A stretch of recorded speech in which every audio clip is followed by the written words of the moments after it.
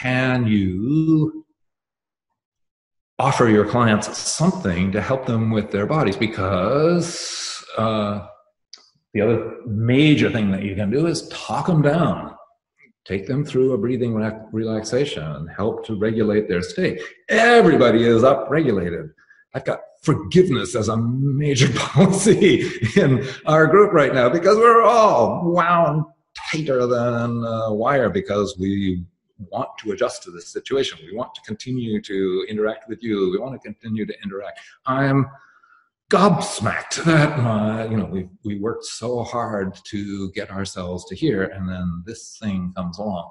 And as I say, it's more than just the disease itself. It's what happens afterwards. So you want to think in terms of maintaining your income. You want to think in terms of serving your clients. And for those of you who can, is there something that you can offer them in the interim? Some people have done groups, so they've got a group of 10 or 12 people that they do some kind of stretching or body knowledge, body sensing.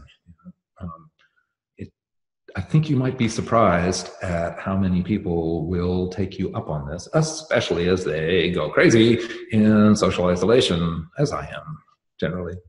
No, I'm wonderful. I got the out of doors. I have so many supportive people that are helping me out, and I have the great out of doors. So um, I would say this, wouldn't I? Because I offer education, but use this time to educate yourself. Everybody is scrambling. Everybody is shocked. So after you get yourself sort of set up in this brave new world, then the question is, what did you want to learn?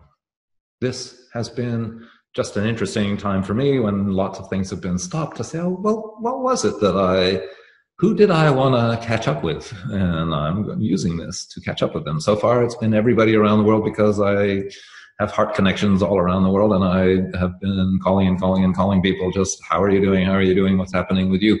Um, but as I settle in now, I'm picking up the books that I you know, had every intention of reading. They're in the stack this high beside my bed.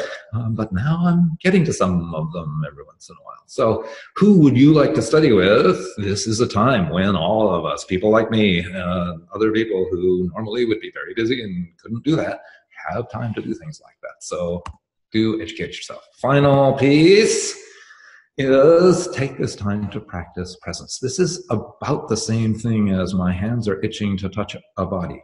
When you touch people, when I teach in class, but when you touch people, you bring your presence to it. It's, you are setting, anybody who takes up this profession is setting out as a meditation person. So, um, again, that meditation has been taken away from you. So, what meditation are you going to use now?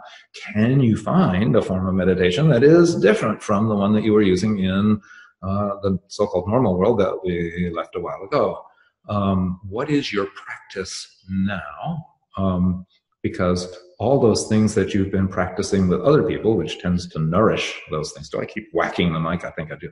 Um, all those things that you put in other people, you now have to do with yourself. It's a little conundrum that for those of us who are therapists, we tend to put our center into the other people. Oh, I would really like to help you.